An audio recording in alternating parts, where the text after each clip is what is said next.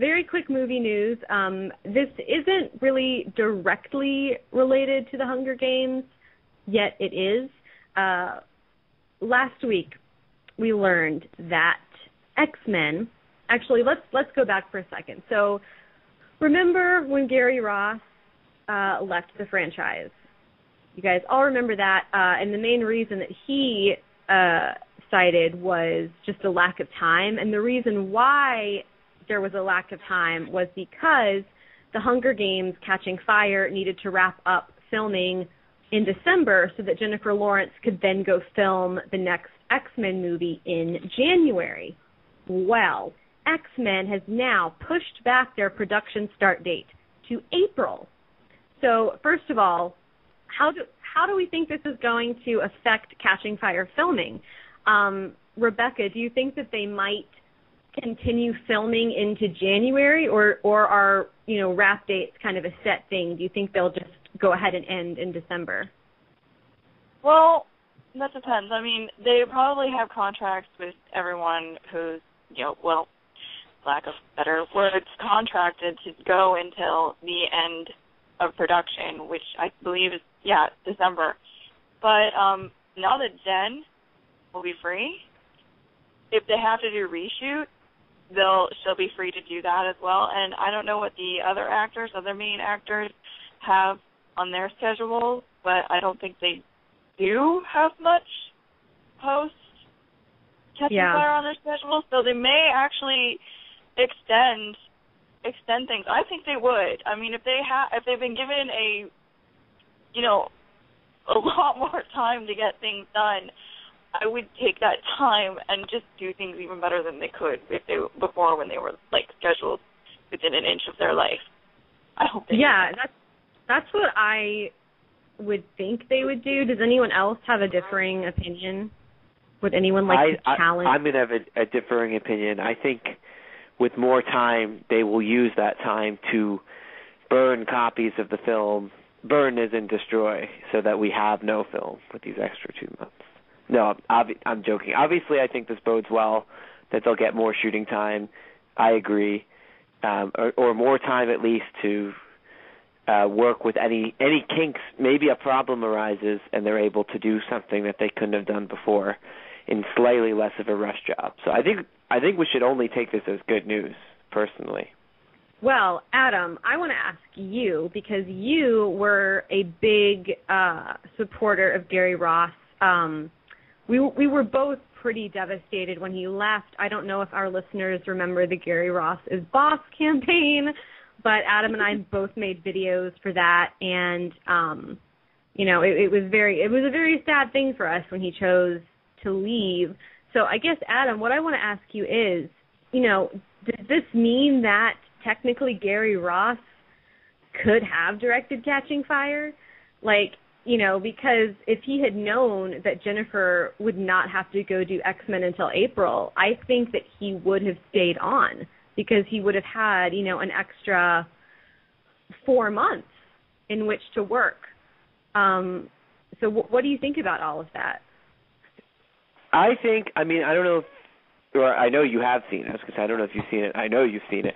Gary Ross even even publicly said that he has no regrets about his decision. He didn't think he could do it in that time. Maybe he could have done it with these few extra weeks, but I'm inclined to think that um it's become more and more evident that I think he he wanted a lot more time, not even just a little bit. So maybe he would have done it, or maybe that would have been what he needed to do it. But they certainly couldn't rely on that. And I think ultimately, um, I'm still very sad that Gary Ross isn't part of the process. But I guess I moved on personally.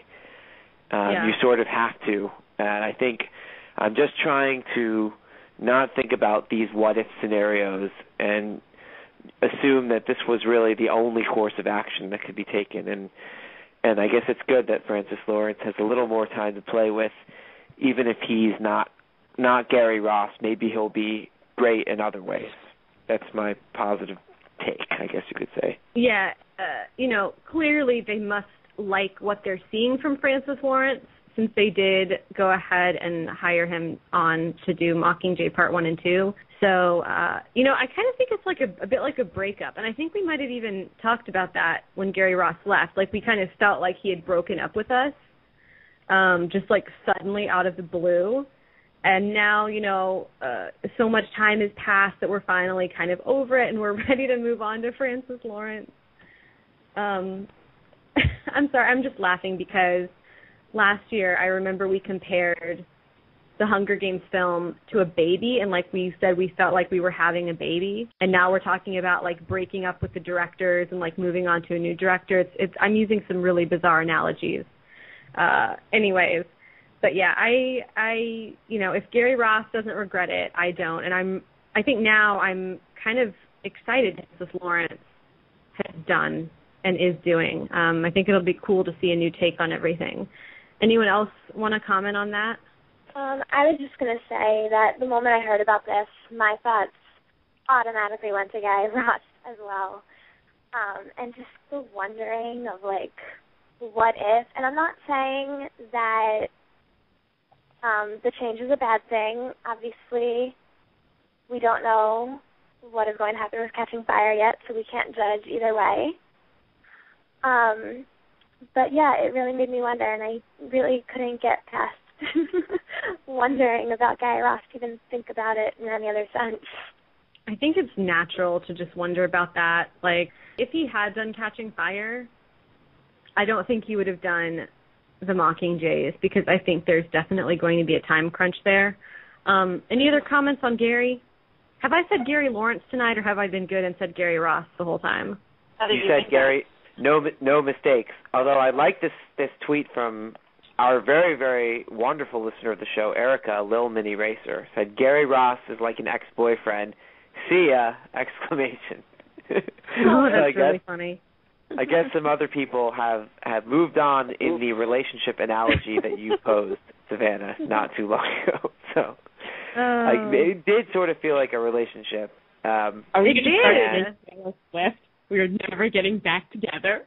Not ever. oh my god. listening to old songs is not going to help. You know, you just have to kind of distance yourself and defriend that person and take her or him off. In this case, him off Facebook and off your buddy list and and out of your phone.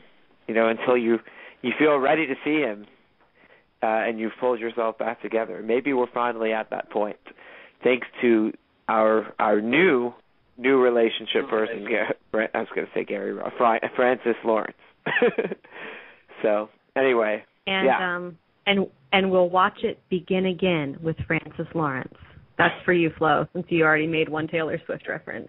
Like Excellent. we are People never, are ever, getting- ever, ever, ever, ever getting back together. Is that what you're saying? yes. Yeah, Um, not ever. Anyway. Anyway. Um so my final question, I feel like I'm just bombarding our panel with questions tonight, but I've been thinking a lot about uh the the production schedule for Mockingjay because if you'll recall, they are filming Mockingjay Part 1 and Part 2 back to back. Uh and I just I wonder when they're going to do that. So let's just say they wrap up things with Catching Fire like in January. I mean, then there's post production. Jennifer Lawrence will be filming X Men from April to who knows when. Then there's like publicity and and stuff for Catching Fire. Do you guys think that they might film um the film the Mockingjay films in 2014, like just from January to like July or something. Like I don't know. What do you guys think? Like how long will it will it take a lot longer to do two movies back to back? Well, well, the only other films that I can think of where they they film them back to back or simultaneously are both the Lord of the Rings series and The Hobbit. Like Yeah. they were like one, one day they're like, oh, okay, what what scene am I doing? Oh, it's from that part of the story or whatever. so, and they were down in New Zealand for for Lord of the Rings two years, and then for for The Hobbit, I think they were down there for about about two years again to do three films. But this is two films, so it won't be two two years. It'll be maybe a good solid year of these people's lives. Maybe not the actors, but but the behind the scenes people.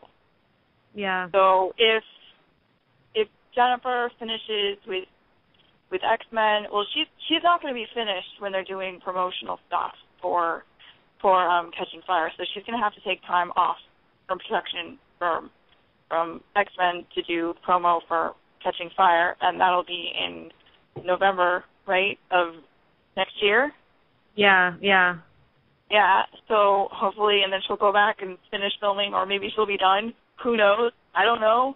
And they'll come back, maybe, maybe even in December of of 2013, and just start and just keep going until they fall over like more overworked horses. there, it, there, it's going to be it's going to be grueling.